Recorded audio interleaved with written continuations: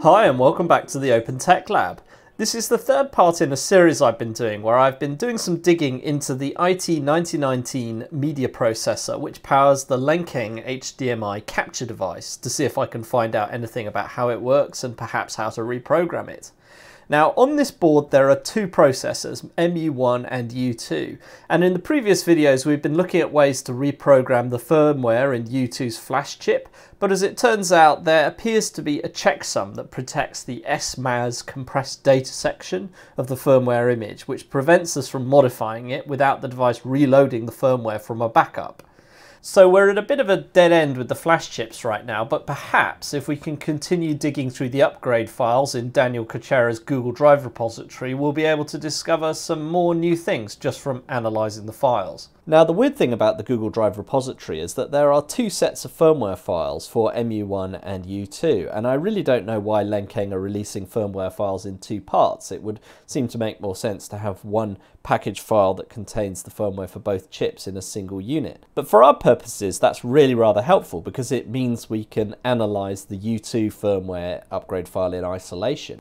So I've loaded the upgrade file up in BinViz, which is a useful website for analysing binary files. And if we scroll down to the bottom, you can see the S-Media section that we were just looking at, which contains a lot of high entropy bytes, uh, which is consistent with what you see with compressed data. But if we scroll back to the top here, you can see there's a load of zeros and another section of zeros, and then some data in the middle here, and even some strings.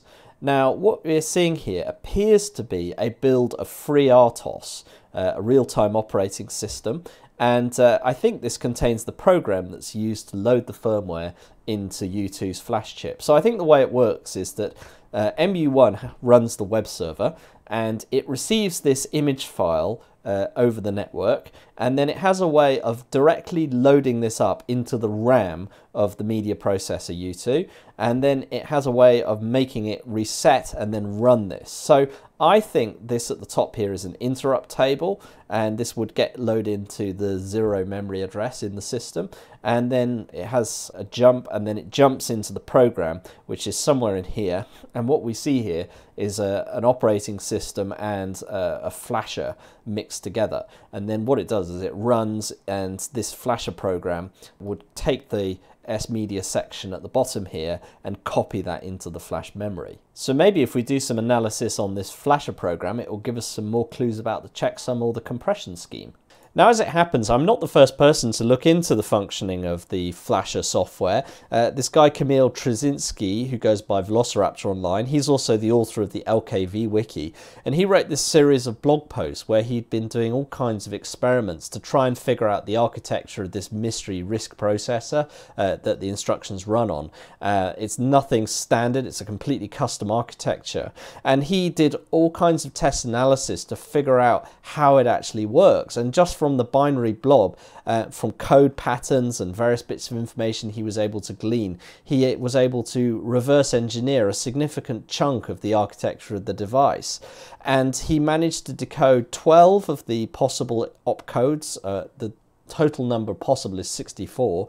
Uh, he managed to decode 12 of them, but there are only an, another 18 unknown opcodes that appear in the Flasher firmware. So most of these opcodes are not necessary to know, and the ones he did decode account for 80% of the instructions that are actually executed.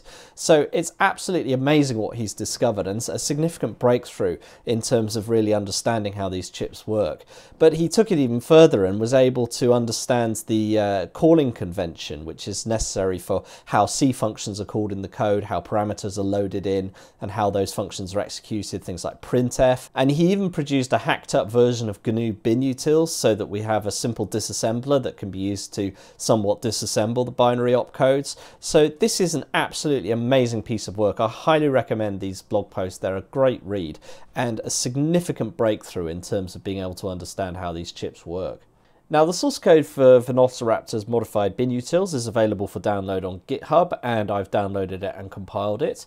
Now before we can use it we need to repackage the firmware update file in an ELF file. An ELF file is a typical Unix executable and the main thing is that it turns a flat binary into something that has chunks and sections and these sections are labeled which is very very useful for the disassembly to have labels on the uh, interrupt table and the code section and the S media blob at the end and, and you can also label specific addresses for certain things, which is very helpful as well. But also this is necessary in order to get objdump to actually load the file properly. So now with that firmware elf file, we can go ahead and load uh, this objdump with it. And you can see here we have the disassembly from the very first instruction in the whole piece of code. So here I have a hex dump of the firmware upgrade package and we're looking at the string section of the Flasher software. And the first string you can see here is task main, that's a FreeRTOS thing, followed up immediately by SDK version with some printf text. And that's the first thing it prints out the serial port when it starts followed up immediately by a load of stuff relating to flashing the flash chip. And down here we even have listed out the names of the various flash chips that uh, this software supports. And then in the middle here we have these strings which are particularly relevant. Start comparing data, comparison is success, and comparison is failed, which is a string I'm particularly familiar with because it's what the main software prints out. If you monkey with the flash chip, it starts printing out comparison is failed right before it ends up reloading the firmware from the backup. So one obvious hypothesis is that it's reusing the same algorithm in the Flasher upgrade package as it is in the main software to validate the checksum.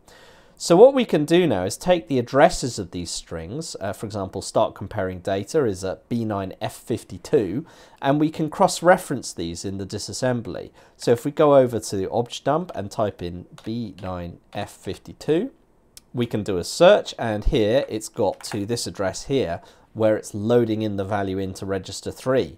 Now in this architecture, it's not possible to load a 32-bit value into a 32-bit register using a 32-bit instruction, because of course there's not enough room in the instruction to contain a literal that's that long. So it has to be done in two stages. So up here it's loading the high 16 bits in, uh, there's the B, and then down here it's loading in the low 16 bits, 9F52 uh, down here, and that's what sets the value to B9F52. And then intermingled in here and the ordering is a bit weird and I'm a bit confused about it but uh, we have calls to 9b960 which appears to be a puts function and this puts function is what prints the text out of the serial port when it's invoked. So what seems to happen is that it begins by printing out start comparison and then it comes down and calls this function 9b500 and based on the return result of this it uh, does a comparison and then depending on the result of that comparison it either jumps down to 9d82c uh, which is here or it falls through to here so we've got a branch here. And what's interesting is that you can see these addresses here and here are the strings comparison is success and comparison is failed. So pretty clearly what's happening here is that it's doing the check inside this function 9b500 and then branching off to print success or fail depending on the result. Now I've scrolled down to 9b500 and we can see a whole bunch of code here, uh, which presumably is the code that makes up the checksumming algorithm, although we don't know for sure because a lot of this code is made up of some of these unknown instructions, which in order to understand the checksumming algorithm, we're going to have to understand what these instructions do first. And perhaps these are some bit twiddling instructions that haven't yet been decoded. So I think my next task is to try and do some experiments to see if I can understand the meaning of these unknown instructions. And if I can do that, perhaps I'll be able to figure out the meaning of the checksumming algorithm. And if I can do that, then I can pack and load any arbitrary firmware onto uh, the flash chip. And if I can do that, then presumably it'll give us a helping hand in understanding the compression algorithm, and then I'll understand everything. Simple. So the first question I want to find out is can we freely modify the Flasher program without running into some other checksum somewhere? So here I've modified the firmware of the upgrade package and replaced the SDK version text with this hello string. So let's see if we can get it to print out this text instead of this text when it starts up. So here I am in the web control panel for the linking device. So let's scroll down to the bottom and I've selected the mod firmware to load into it. So let's hit upgrade and see what happens. So now we're watching the serial port over on the console here. It'll take a couple of seconds to do the upload. There we are, and we have the text saying hello. So this has shown us that I can successfully modify the Flasher program and there's nothing to prevent me doing so. Now, one thing that is immediately clear from the result of this test is that if you have one of these devices on your network, there really isn't anything to stop someone just hacking into it and loading any, any, arbitrary firmware into the device. And although we don't yet know much about how to actually program these microcontrollers, by the way this is going, it looks like it's going to be found out pretty soon. So a few hours have passed and I've been messing around patching the Flasher program and I've discovered some interesting results. So here we are on the instruction set architecture page of the LKV wiki and if I scroll down to the instruction list uh, there are a few instructions that were known previously but the main development is that there's a few new instructions here, uh, eight of which I've deduced the meaning of, and I've also found a large number of other instructions that seem to be reserved, and if you invoke them, it causes the CPU to crash and print out illegal instruction. So there's a few here that are still to figure out, but I'm making some really exciting progress towards really understanding what all these mystery instructions actually do. So in order to achieve this, I've written a Python script to do the job, and I've written a very simple assembler that I can use to assemble together opcodes for this architecture. And I found that trying to do this manually in binary quickly became unmanageable, and this has worked extremely well. So what it does is it loads in the firmware file from the normal firmware upgrade package with the Flasher software built into it, and then it specifies the addresses of some unused space in that uh, memory that we can patch. And then what it does is it loads in this printf string, which we're going to make use of in a moment. And this will be used to print out some hexadecimal values, the results of our experimentation. And then at the normal location of the software where it would normally uh, set itself up to print SDK version out on the terminal, I've patched out the code which loads up the arguments for the printf and replaced the call into printf with a call into a custom function that I've patched into some free space. And the code for that function is down here. And the way this works is it has a bit of code here which is our experiment and then down below it, we have some code here that prints out the results. So we call printf here, which prints the results. And then after it's done that, we loop round back to the beginning of this function. So what it will do is it will run the experiment, print the results and then loop round forever. So this will show us that we haven't crashed the system and on a successful working experiment we'll just see it printfing line after line after line forever. So here's the code for the experiment. So first of all we load the number 1234567 in hexadecimal into register number 2 and we save this onto the stack so that it becomes an argument to printf and then we do the same with register 3 loading in 8765432 and load that onto the stack so that it becomes the second argument. And then this is the instruction 2b that we want to test. And we suspect that it is of the I type, which means that it has one output register argument and one input register argument and a 16-bit literal. So what we're going to do is see what happens when we combine uh, the literal with register 3 and then we'll see what effect that has on the output register, register 2. So we then save register 2 onto the stack again. So this becomes the third argument to the printf and then we'll test it out and see what the results are. So let's see what this looks like in practice. Okay, so we're now ready to run the test script, and so we're going to run test.py, which is our assembler, and it's going to give us a file called test.bin, which we will load into the device. Now, to save me having to click through the web UI in Firefox all the time, I've written a simple test uh, script here, CGI upgrade encoder, which uh, performs the same action as clicking in the browser, but this just saves me a bit of effort and means I can automate it better. And then we're watching the output of the serial port in the middle here, uh, and so we we'll hopefully be able to see the output of our experiment uh, popping up in the middle. So let's go ahead and run this and see what happens.